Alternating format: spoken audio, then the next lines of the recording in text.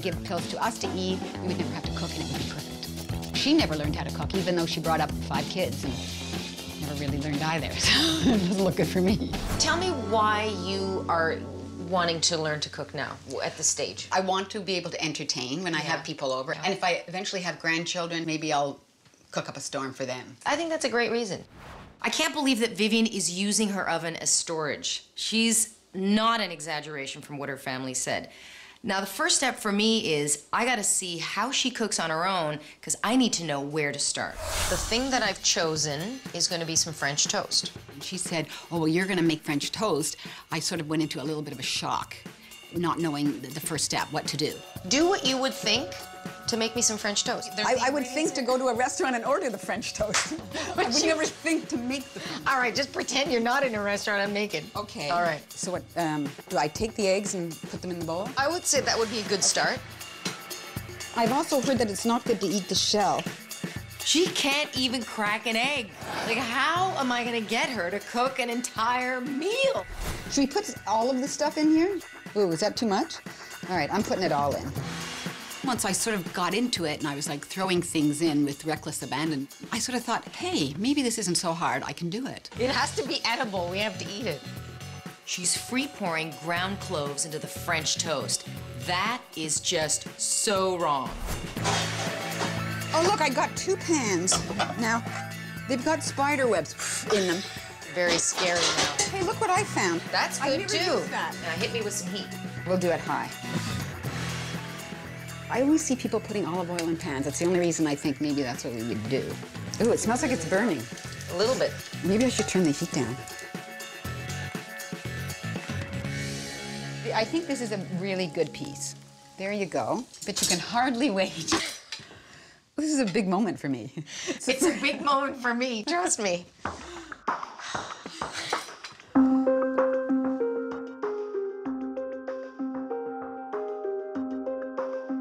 Nutmeg with the extra virgin olive oil. nutmeg is killing me. I think we need to, you know, work on a few more things. I'm sorry, but that was nasty. We really need to help you out. I was hoping to have something positive to say. I got nothing. I thought I was doing great. And then when she tasted it and she thought it was disgusting, well, then I, I totally lost all my confidence again. I really think that we need to share this experience. I think you need to taste this because I Oh, no. think no. Such a big piece, forget it. Look, did you What see you the piece I tell me? made? I'm taking a tiny Look at her. piece. You can't take a piece like that. You give me like. Hmm. You're right. oh my God, I knew I should never even enter into the kitchen. Vivian's biggest problem is her total lack of technique. She can't crack an egg. She has no idea how to measure. She doesn't choose the right ingredients, and she's all about cranking up the heat. You want to use olive oil where something is going to be savory. So because this was sweet, you wouldn't necessarily go with that. So I would go for either a neutral vegetable oil or butter. Okay. I wanted to show you a little trick. Rather than tapping the egg on the side of the thing, Right. which you get little shells, you just do a little crack there, and that way the egg doesn't have as many shards. The other thing that I want to tell you is the spices. All the spices you used quite a bit. Yeah. So we had those three spices for you, cinnamon, allspice, and cloves. So typically I would go for smaller amounts, like a pinch, because they're really, really strong. Okay. The other thing that I want to tell you is on your cooktop, uh, you want to use a more moderate heat, especially when you're frying something like that. If the heat's too high, it's going to burn. Okay. Make sense? Yeah, I gotta tone myself down when I'm cooking. she is very helpful with her tips on what to do. So I didn't want you to feel badly about that. In fact, you know, you had some really good intentions. I saw some fearless potential there, so that's all good. But now we're gonna work together. Yeah. My only hope with Vivian is to get her passionate about cooking. I'm gonna get her past her fears so she can cook for her family and friends. I've got a little something in store for her, and it involves a lot of chocolate. I think we should get out of the kitchen now. How do you feel about chocolate? I love chocolate. Coming up, how can something that tastes so good look so bad? That one looks like you went to the park with your dog. And later, it's a battle of the batter. Will victory go to Vivian or the giant mixer? When I was in foster care, I never knew when I would have to move. So I always had my suitcase ready to go. Then one day, I was adopted. my new parents opened their hearts and home to me. My parents cook my favorite breakfast for me every morning. My parents take me on trips I never thought I would go on. They gave me a home and an even better reason to use that suitcase. My parents aren't perfect, but they're perfect for me. I am the father of a nine year old little girl and a six year old little boy, and I find fatherhood both relentlessly challenging and relentlessly rewarding. Both of our children came to us in amazing ways. My daughter is biological and my son is adopted. I love them both so much. From the morning when you wake up to putting them to bed at night and every moment in between, it really is so special. And boy, is it exhausting. One thing that I fear about being a parent is the future for my children because I think a parent's job is to protect our children but also prepare them for the world so they become good, kind human beings. But I'm also hopeful that the future holds a more inclusive and compassionate world for them. And I know that they're going to make the world a better place.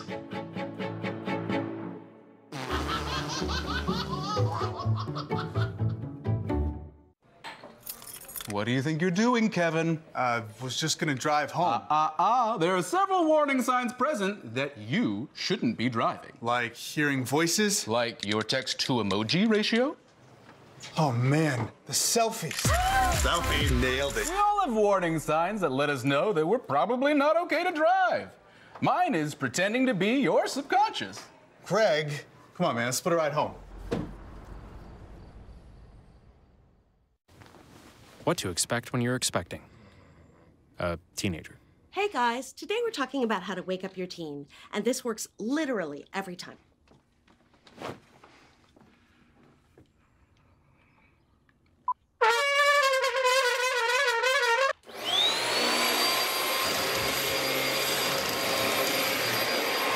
Give kisses. Give kisses. Look. Give kisses. Give kisses.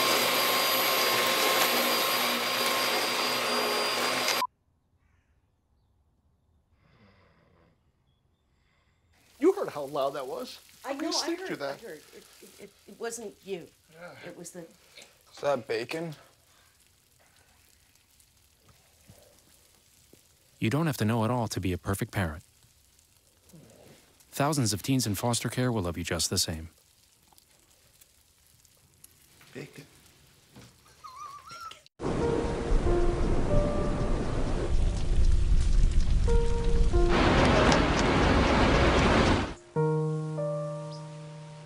Don't wait. Communicate. Make your emergency plan today.